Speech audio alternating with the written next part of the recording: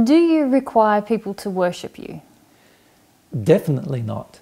I require that people do not worship me and that people worship God instead. That is what I require.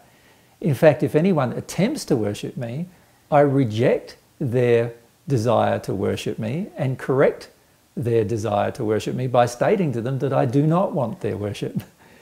I do not want their worship and I do not need anything from them. All I desire to do is to teach any person who will listen about how to develop their relationship with God. I do not even believe that God needs our worship, but if we desire to worship someone, then my suggestion is to worship God, who is far greater than I, or, and far greater than any person. My suggestion is to never worship another person, because if you worship another person, you are always at some point in the future going to be disappointed.